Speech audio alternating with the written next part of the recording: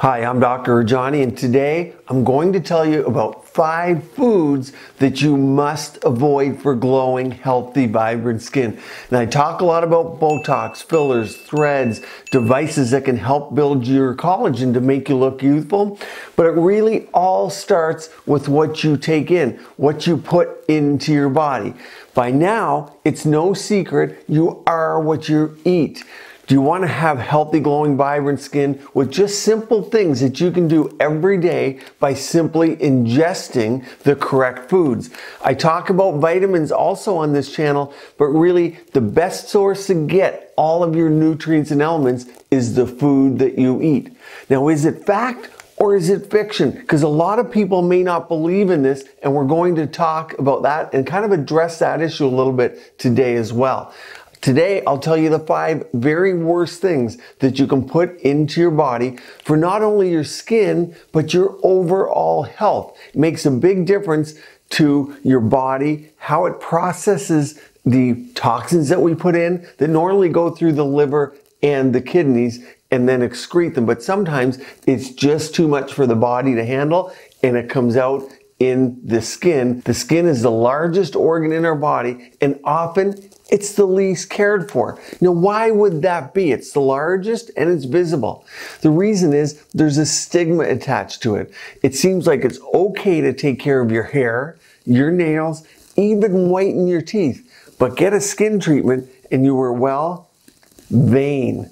You were considered to be doing something a little crazy or a little outside of the norm for your friend group. And so the skin is often neglected. In no particular order, I'll start with number five.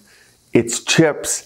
And I hate to say it because chips are an easy, fun snack and they're a great tasting food. I love eating them while I'm driving on the way to my favorite sport, especially mountain biking where you're trying to load up on some carbs.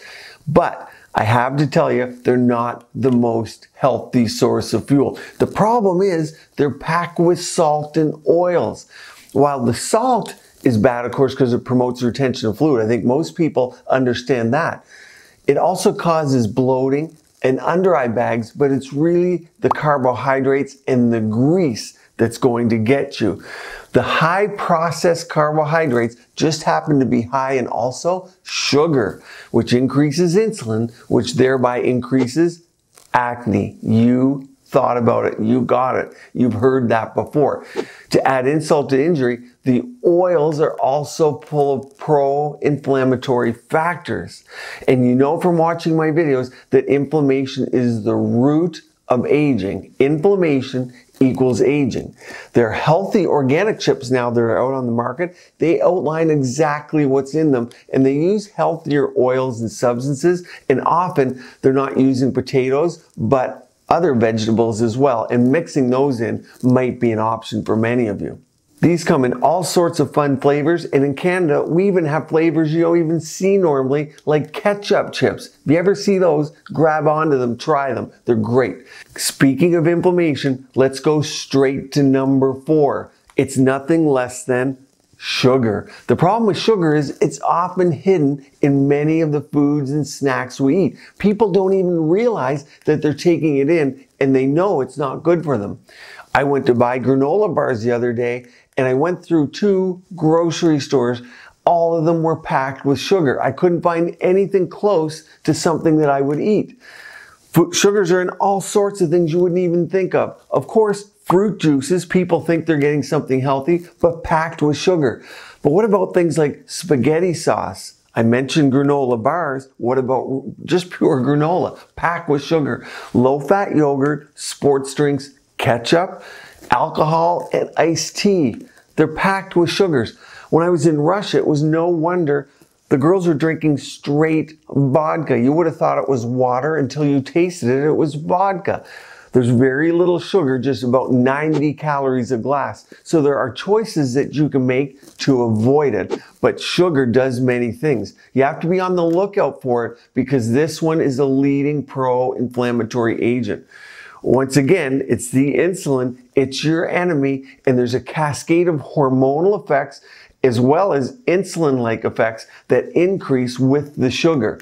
Insulin production has us labeling a relatively new illness called metabolic syndrome, which is very prevalent, especially in America. And as the American diet is uh, adopted around the world, the effect on estrogens and hormones is staggering, and we can see it in our youth. It's a deadly cascade you want to avoid. As far as the skin goes, it absolutely leads to inflammation of the skin, increased production of acne, and simply all of the factors we know as dreaded aging. The outer layer of the dermis reflects this. The body's natural resistance and the mechanisms are hindered, and that results in dull, sickly looking skin. Number three is dairy products. And no, I don't want the milk industry after me, but if you've watched any of my nutritional videos, you know I believe there's hormonal changes that are occurring, especially in our younger population, that's leading to body habitus changes that we haven't seen years and years ago. Meat and dairy seem to be especially targeted as possible cul- culprits. Non-organic seem to be one of the potential culprits as well, and the feed used for those animals filters through the food chain just like the pesticides do in the soil that come through to the plants. So we kind of get it in a tertiary manner. There's certainly evidence of hormones that are present in milk and cream and they seem to be part of the problem is that dairy is masquerading into so many of our foods, such as pizzas, cheeses, ice cream, and of course milkshakes, and all those crazy coffee drinks. So many people are walking out of I won't mention exactly where, but you know, packed with 2,000 calories in one little glass. It's really hard to get away from it, but there are some easy ways. I personally like milk, but I often substitute oat milk followed by coconut. And if I can't find that, I go to almond milk as healthy alternatives to decrease my absolute dairy intake. You'll find those hard to get those. They're often sold out of the grocery stores and you'll need to shop around and stock up when you can because they become very popular. I'm not saying get rid of your dairy altogether, but you might consider reducing it because some of the acne we see is cystic acne. And of course, that can lead to scars, blemishes, and long-term dullness of the skin. And why not prevent it rather than treat it? They can be repaired using RF microneedling and the fractionated RF treatments I often talk about on this channel. But Part of the reason of this video is so you can avoid getting any treatments at all. Lactic acid from milk is another story. It's rather helpful as a mild exfoliant and can be used externally uh, so that the milk that you're not ingesting does have a great use if you're saving some of it. And in my video I did on home facial mask, actually we use cream in that one. Number two, another one no one wants to hear, but it's alcohol. More specifically, regular intake of daily alcohol has been shown to increase aging. Many alcohols also contain sugars, but there are some like tequila and vodka, which are purported to be more healthy, and some of them even contain antioxidants. One study showed that people who drink regularly are 33% more likely to physically age rapidly. Alcohol seems to affect the under eye bags, as many people here know, through the fluid retention, but also the pro-inflammatory process and that cascade which damages the skin is activated by drinking.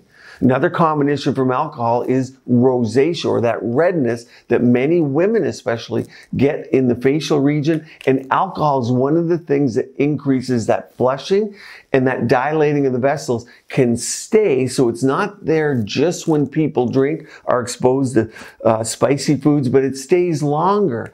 And there are long-term redness issues that can occur that can often be treated, but why not avoid it? I did a whole video on IPL or intense pulse light as my favorite treatment for that. So it can be reversed. Acne is also associated with the rosacea, and there's many different forms of rosacea. So if you're suffering from that, look at the most natural solutions and consider alcohol as one of the culprits. I'll put a video at the end so you can watch that one and watch the IPL treatment actually being performed. It uses light and flashes of light. It's that common that I made a complete video on that subject in and of itself.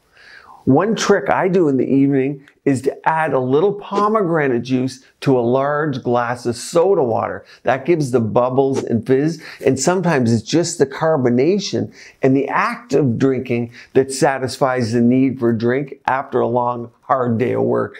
In this case, we're actually substituting the alcohol with anti-aging, antioxidant spritzer type of drink, so to speak. So it's an inexpensive and easy solution to avoid taking regular alcohol in. As a bonus, if you're with your friends and there's a bit of peer pressure to drinking, it actually can look like you're drinking a cocktail. Now, number one, in no particular order, of course, this is deep fried foods. Those are packed with a triple shock to your skin. Number one, they contain oils, particularly hydrogenated trans fats, which leads to oily skin, increased blemishes, dullness of complexion, and that leaves it, of course, acne prone. Most deep fried foods are also very high in salt, and that's leading to water retention, puffiness, under eye bags, puffy face and thinning of the skin. If fillers are present and you get that puffy face, they can draw water in. The triple shot comes with the fact that there's often nitrates that have been shown not only to be detrimental to the skin, but also increase inflammation, and they are potentially carcinogenic. And you hear about those from the cured meats and the processed meats and foods. You might be aware because you see it on the news from time to time. You get the picture and it's not pretty. Watch my video on the one vitamin deficiency that may be wrinkling your skin. I put that video right up here and stay tuned here for treatments and preventions that you can do keep your skin and body beautiful, healthy, and vibrant.